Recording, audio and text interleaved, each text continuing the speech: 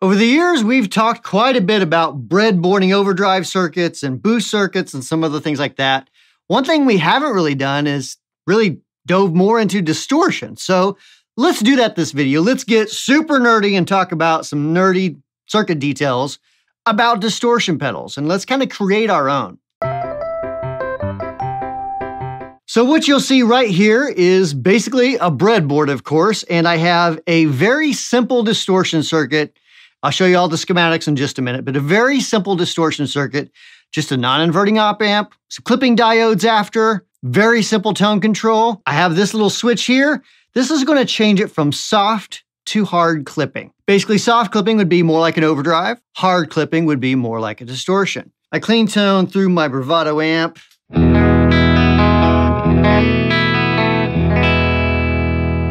Controls I have, this is my volume, that's my tone control, that's my gain control. Gain control is dimed right now, all the way up.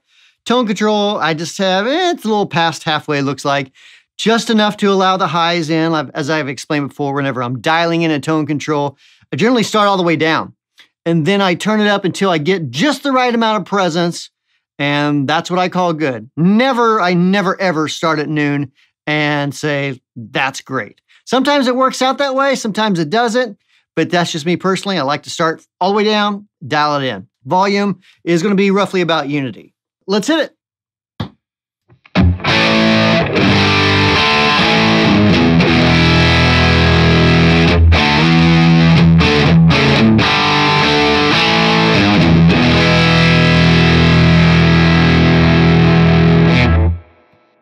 Uh, I keep hitting this switch right here. This switch is just simply turning off this circuit so it bypasses completely. That way you don't hear a bunch of noise in the background. Now, this switch here, I'm going to flip this over. You'll see the difference right now. It's in the hard clipping setting.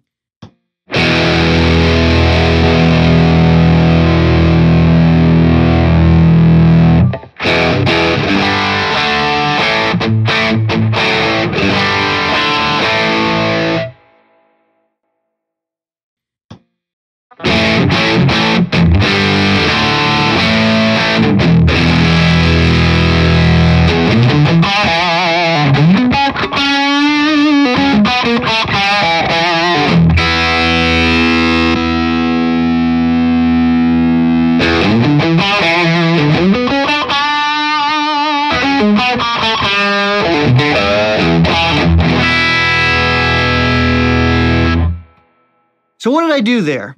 I just simply changed where the diodes were. That's all I did. I went from the diodes being in between the, uh, basically the output and input pins, like you would in a normal op amp soft clipping arrangement, to diodes to ground. That's all I did there. You see, I did adjust the volume because there's going to be a difference of volume whenever you do that. So I did have to kind of adjust the volume right there. Let's look at this circuit real quick and we'll see what's going on. So here, right here, we have the signal. So this is the signal generator. It's acting basically like a guitar. It goes through a resistor. It goes through a capacitor. This little resistor here is just simply to make the op amp work. It's just for biasing, which means making the op amp work like it should, basically. Now, this area here, this is where the magic happens, so to speak. Uh, this is going to be our gain control and uh, got a little bit of a limiting resistor because I don't want it to go all the way to nothing, basically. And then this resistor and capacitor here is both going to tell us what frequencies we're going to boost, and it's also going to tell us like how much gain as well. So, so this area here, in combination with the potentiometer, the gain pot, is going to basically tell, tell us how much gain is going through this circuit. So from there, we go out of this op amp, this little triangle here is like the, you know, it's the little chip. That's the little op amp. And we go out in through a capacitor, then we go through a resistor, and then the diodes are clipping to ground. So that's in a hard clipping sort of arrangement. Very simple tone control, just rolls off some highs or doesn't roll off some highs, depending on how you have it set. So it's not an active circuit, it's a passive uh, it's a passive low pass filter, basically. Pretty simple thing. Into very simple tone, uh, very simple volume control. And I should I should also mention here, just for just to make everything nice and neat and, and play well together with the mics and stuff, I do have a buffer in front and I have a buffer behind. Op amp buffer. It's our DB plus. pedal basically, just making sure that I'm, I'm running long cable lengths and I, I don't want to get some degradation of the signal from the cable itself. Because with all this junk on the end of these circuits, you're going to have a higher impedance. So just keep that in mind. Buffer in, buffer out, just to make it play nice. So, anyways, that's that's the basic circuit of this first distortion circuit here. Oh, and something else that we did too. We we did hard clip it, but we also had that switch that put the diodes into uh, you know basically in between the in and out pins of the op amp, like so, just like that. And when you do the switching, you get rid of those diodes, and that's your soft clipping arrangement. So that'd be your typical overdrive type of circuit there, basic overdrive circuit right there. All right, let's take uh, let's go back over there. Now that we've looked at the circuit, let's change this into something completely different. And we're going to add a inverting op amp after our non-inverting op amp. And then we're going to put diodes to ground there. And you know what? We might as well go ahead and throw the soft clipping diode circuit in there as well and flip back and forth again. Now, what am I doing here? This is now kind of turning it into something a little bit more like the um, the MI Audio Crunchbox sort of thing. Uh, also similar like a Suhr Riot. I think that I think the Angry Charlie is kind of based around this sort of circuit as well. Again, this is just a way to create a different type of distortion using op amps in this particular version. All right, let's turn this breadboard on and have it all completely changed now.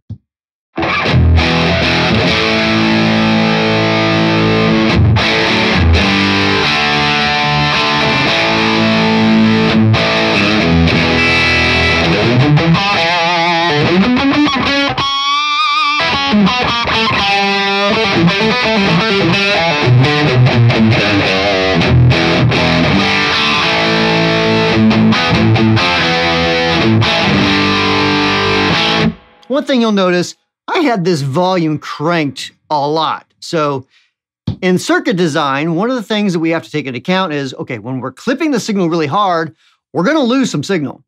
So in this situation, I, uh, with that type of tone control, I'm probably going to add some other type of volume boosting stage if it was going to be a final product. For this particular video, I'm just kind of showing you the differences of distortion creating a distortion circuit versus what we've done before with like overdrive, which is a little bit different. You're kind of doing things similar, but a little bit different. Now, when I flip this switch over, it's going to be basic. Well, technically, it's going to be probably hard clipping a little bit because I'm sending so much signal to it.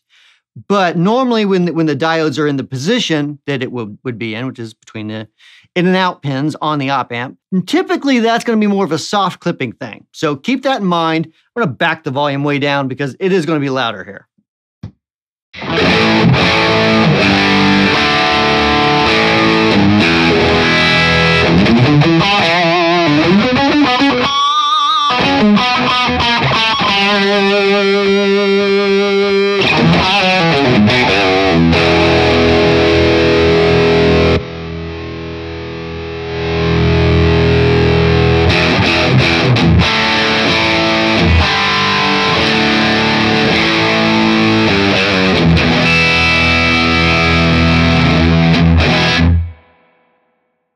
All right, now let's take a look at this particular circuit, uh, you know, schematically, and I'll dive a little bit more into the nerdy details. Okay, now this, this expanded version of this distortion circuit with the op amps. So we kind of have pretty much the same stage. I've changed a few things, same first stage.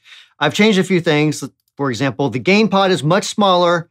It's set up a little bit differently because I'm going into this non-inverting, I'm sorry, this inverting op amp right here. You can see it's inverting because in the non-inverting, our signal goes into the plus, into the positive input. In the inverting, our signal goes into the negative input, and we basically run our positive input to what's called a virtual ground, uh, half voltage, basically. That's what we're doing there. We're running into this inverting op amp. A lot of gain here. This one meg ohm uh, resistor is going to give us a ton of gain right there. Uh, and then we're going to clip the crap out of it with these diodes right here. And uh, that's in the hard clipping arrangement. But we also did the same sort of thing where we wanted to see what would happen if we put some soft clipping diodes in it. So we literally just connected the soft clipping diodes right there. And whenever you flip the switch, It gets rid of those, so you now don't have those hard clipping diodes. You're just kind of doing a lot of soft clipping. And the thing with, with diodes in this type of arrangement, you throw enough signal through it, um, it can start to really almost start to sound more distortiony just more of a smoother compressed type of distortion. So it's it's a really cool thing actually. Uh, really, it's just a different feel, and it's it's uh, it's a fun thing to play with. As far as the output section of this, you know, this uh, expanded version of this uh, circuit, it's the same sort of thing. We still have the 1K, we still have the exact same tone control, the exact same volume control to the output. That's what's going on with that particular circuit. All right, let's have a little bit more fun. Let's go to a completely different type of distortion circuit. This one is using MOSFETs, no op amps whatsoever.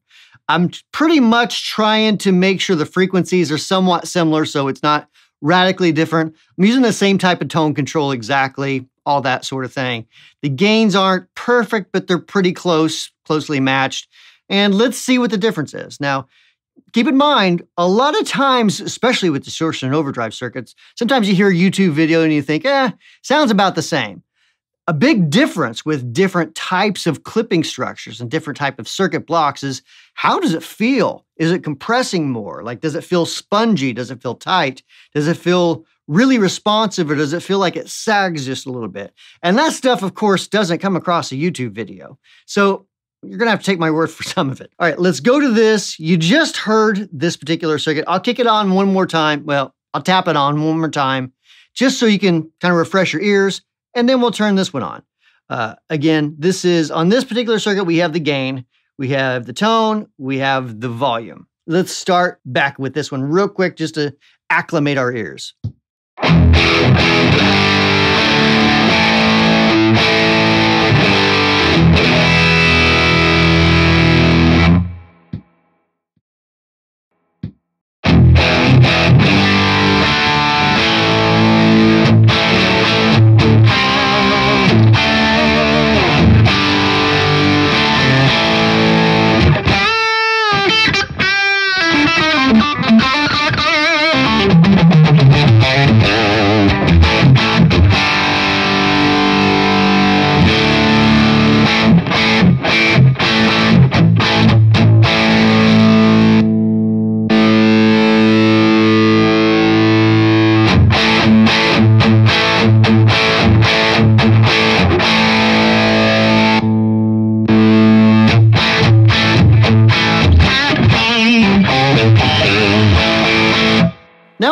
MOSFET circuit. So what are we doing here? Uh, again, we have the signal, the signal generator.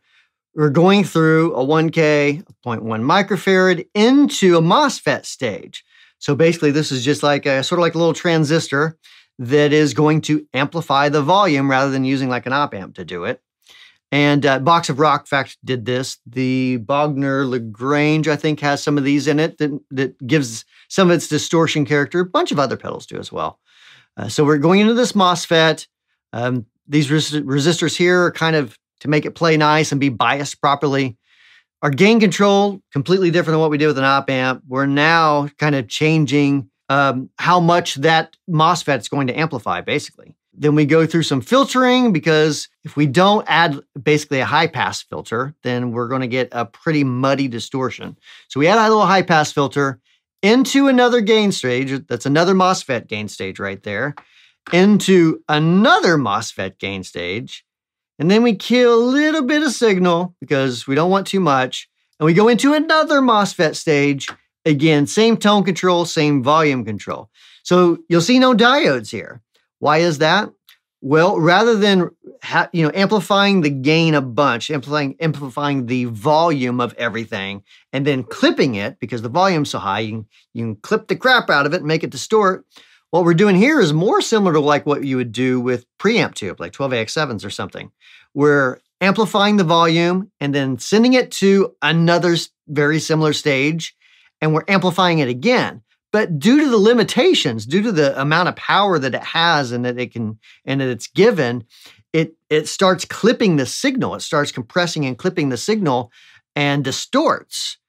And then we just do the same thing. So we boost it up as much as we can, and then it distorts because it can't boost anymore. And we try to do it a few more times to keep giving it more and more distortion. Now there is the, you know, there is the point where you have distorted it so much and all you hear is a bunch of background hiss and back, background noise. That does happen whenever you start cascading too many different gain stages together, no matter what type of circuit, really. You can add too much gain and it's going to hiss way too much. That's always something you're kind of fighting whenever you're creating any sort of uh, gain based effect, especially. You're always kind of fighting the, the amount of gain versus how much noise is present, um, you know, how much can I get rid of, that sort of thing. So ultimately, this is it just gives you an entirely different sound, entirely different feel. Um, it's I wouldn't say it's better or worse. It's something different. It's uh, instead of ketchup, it's mayonnaise. That's the way I look at it, anyways. To me, the MOSFET is going to. It feels like it's a little more pick sensitive, not as much compression. I can hear the clean like harmonics coming through a little bit better, and honestly, right now in my temporary headspace in this video, I suppose. I kind of like that one a little bit more. I kind of like the MOSFET a little bit more. But tomorrow that probably will change because, you know, I'm a typical guitar player and I change my mind a lot. So just like everyone else. And um, yeah, so that's my that's my thoughts on those two particular type of circuits. I'd love to hear what you think, though. You heard you heard the the MOSFET again. You can't feel it, but I would love to hear your thoughts on listening to the to the YouTube video. What's which is the one that kind of grabbed you and said, I like that style circuit better? And ultimately, you know, I hope that you like this video and I hope that you got something out of it. My, my goal is trying to sort of educate, uh, you know, guitar players so you kind of know when you get a pedal, if it's based on a, a MOSFET sort of design, kind of what, what to expect. And is it going to be different than, you know, pedal A versus pedal B?